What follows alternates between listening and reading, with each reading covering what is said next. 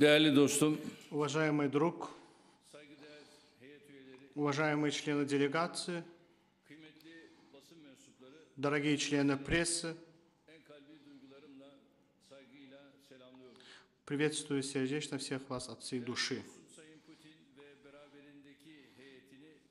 Выражаю свое удов- удовлетворение тем, что вновь господин Путин и его сопровождающая делегация находятся в нашей стране. Еще раз приветствую их в нашей стране.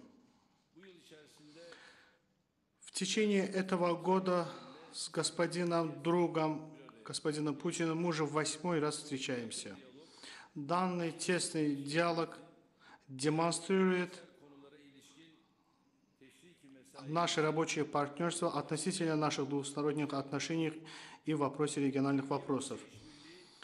С каждым днем укрепляется российско-турецкое сотрудничество. Имеется гармоничная рабочая среда на политическом уровне. Данные визиты и наши телефонные разговоры дают нам возможность дать оценку критическим вопросам регулярно и развить общую точку зрения.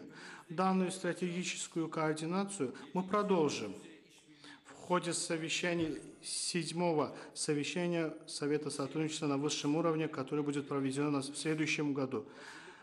До проведения данного совещания наши соответствующие министры проведут подготовительные работы. Данная гармония, положить, данная гармония на по- политическом уровне положительно отражается в экономических и гуманитарных отношениях. Двухсторонний торговый оборот наших отношений в первые 10 месяцев 2017 года увеличился на 30%. Также необходимо сказать, что на очень хорошем уровне находится также сотрудничество в туристической сфере. В этом году до сих пор нашу страну посетили 4,5 миллионов российских туристов. Эти, эти цифры, несомненно, вырастут в 2018 году. Другим критическим аспектом наших двусторонних отношений является энергетика. Партнерство в этой сфере мы считаем, что мы поднимем на новый уровень посредством проектов турецкого потока и Аккую. Осуществление данных проектов в кратчайшее время э, является желанием общ- обеих сторон и решительностью обеих сторон. Уважаемые члены прессы, сегодня с господином, дорогим другом Путиным, наряду двухсторонних отношений мы также обсудили и региональные вопросы. Среди этих вопросов в первую очередь, несомненно, э, было развитие событий в Иерусалиме. Ру- Решение руководства Соединенных Штатов о переносе столицы Израиля в Иерусалим привело к большой волне возмущения. Данное решение разочаровало мусульман и христиан, а также разумных иудеев. Данный безответственный шаг наяву. Сложилась ситуация, которая наяву. В конце э, недели ходе акции протестов израильские э, солдат, от рук израильских а, э, солдат погибли четыре палестинца. Э, в настоящее время около двух тысяч палестинцев получили ранения. Израильские, самолеты Израиля разбомбили сектор Газа. Ну, ну, можно сказать, что Израиль словно подливает масло в огонь. Последний процесс Израиль использует для э, увеличения давления и актов насилия в отношении палестинцев. Люди с совестью, с нравами, с принципами, никто из таких людей не может игнорировать такие преступления. Как и вы знаете, э, в качестве председателя Организации исламского сотрудничества через два дня в Стамбуле мы созываем э, саммит Организации исламского сотрудничества, куда пригласили лидеров стран. Верю, что в результате этого совещания мы дадим сильный месседж всему миру. Относительно вопроса Иерусалима, я понаблюдал, что с господином Путиным у нас есть похожие подходы. И мы пришли к согласию, что продолжим наши контакты в этом вопросе. Сегодня также мы коснулись вопроса в Сирии.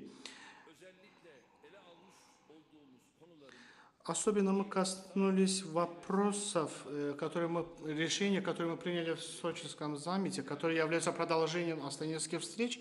Мы, у нас, нам удалось дать оценку этим решениям. И мы обсудили, что мы будем делать после этого. И мы решили, и мы решили, что во второй раз в Сочи мы вновь встретимся для этого процесса. Какие мы можем э, дополнительные шаги предпринять для Э, продвижения политического процесса. С другой стороны, в качестве стран э, гарантов Астанинских встреч э, считаю, что мы внесем значительный вклад для Женевского процесса. Дорогие члены прессы, считаю, что наши тесные контакты между Турцией и Россией идут не только на пользу развития наших двусторонних отношений, а также региональной стабильности. В этом контексте мы э, желаем сохранить данный импульс для следующих, следующего периода. И желаю, чтобы данный визит пошел на благо. Но между тем также хочу сказать относительно С-400 наши соответствующие органы, товарищи э, проделают необходимую работу и в течение этой недели завершут, завершат эту работу и желаю им это успеха в этом плане. Большое спасибо. Уважаемые дамы и господа, мы также рады находиться сегодня в Анкаре, в гостях у наших друзей, у нашего друга господина президента Эрдогана. И прежде всего хотел бы отметить, что переговоры прошли в деловой и конструктивной атмосфере. Мы обсудили ключевые вопросы двухстороннего сотрудничества, включая реализацию стратегических торгово-экономических и военно-технических проектов – а также обменялись мнениями по актуальным темам международной и региональной повестки дня. При этом естественно, что акцент был сделан на резко обострившейся ситуации в ближневосточном регулировании и на сирийских делах, в которых наши страны плотно взаимодействуют. Подчеркну, что в целом сотрудничество между Москвой и Анкарой развивается весьма успешно на самых различных направлениях. Упомяну также контакты по линии внешнеполитических ведомств, отраслевых министерств, парламентские обмены, работу межправкомиссии. Вместе с президентом Эрдоганом с удовлетворением констатировали, что с начала года двусторонний товарооборот заметно подрос. С января по сентябрь торговые потоки увеличились на 36%, до 15 миллиардов долларов а за весь прошлый год этот показатель равнялся 15,8, то есть в этом году он явно будет превышен. Все это стало возможным благодаря принятым совместным решениям об отмене ограничений в торгово-экономической сфере. Упомяну, что за первые 8 месяцев текущего года импорт в Россию турецкой сельхозпродукции увеличился в 1,8 раза. Не скрою, что и сегодня шла дискуссия по тому, как и в каком направлении нужно предпринять дальнейшие шаги по либерализации наших торгово-экономических связей. В этом смысле считаю наш разговор очень полезным.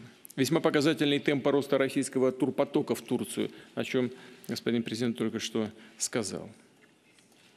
В этом году турецкие курорты посетили 4 миллиона россиян. Напомню, что в 2016 году это было всего 866 тысяч.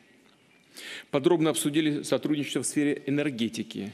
Принципиально важно, что э, в принципе начинается работа по строительству первой в Турции атомной электростанции Акую. По графику идет сооружение газопровода «Турецкий поток».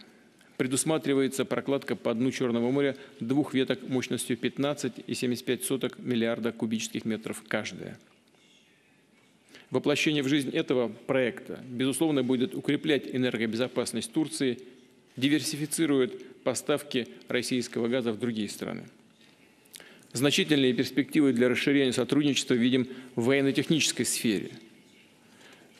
Ходе сегодняшней работы мы окончательно согласовали кредитные соглашения, которые, я это хочу подтвердить, надеюсь, будет подписано в самые ближайшие дни. Говорили и о ситуации в Сирии. От террористов освобождена там практически вся территория. В случае возобновления каких-то очагов сопротивления со стороны террористов будем предпринимать эффективные ответные меры. На повестке дня обеспечение процесса политического регулирования в Сирии. В ходе трехсторонней встречи глав России, Ирана и Турции 22 ноября достигнуты договоренности на этот счет. И сейчас нужно добиться их полной реализации. В частности, ведем совместную работу по подготовке и проведению в начале следующего года Конгресса Сирийского национального диалога. Планируется, что его участники рассмотрят такие значимые для всего сирийского народа вопросы, как параметры будущего государственного устройства, принятие Конституции, проведение на ее основе выборов под контролем Организации Объединенных Наций. Не открою никакой тайны, если скажу, что сегодня в ходе своей поездки в Сирию я подробно говорил об этом с президентом Асадом. Исходим из того, что по итогам Конгресса удастся активизировать усилия по сирийскому урегулированию и в рамках Женевских переговоров. Как страны-гаранты Астанинского процесса продолжаем работать над укреплением режима прекращения боевых действий, обеспечением устойчивого функционирования зон деэскалации, повышением доверия между сторонами конфликта договорились продолжать плотную координацию в контексте подготовки к восьмой международной встрече по Сирии в Астане, которая намечена на э, конец декабря этого года. Хочу отметить весьма позитивный вклад Турецкой Республики и президента Эрдогана в эту работу по примирению сторон. Обсуждали и гуманитарную ситуацию.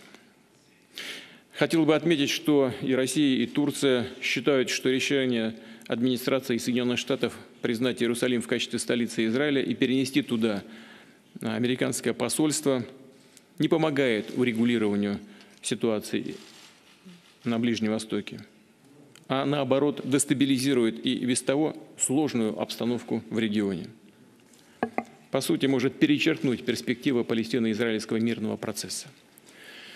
Россия исходит из того, что это урегулирование должно строиться исключительно и в полном объеме на ранее принятых решениях в рамках Организации Объединенных Наций.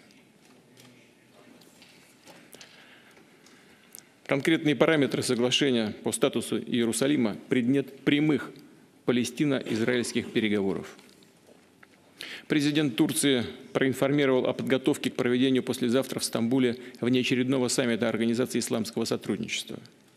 Разумеется, Россия, как страна-наблюдатель при организации, будет представлена на этом мероприятии.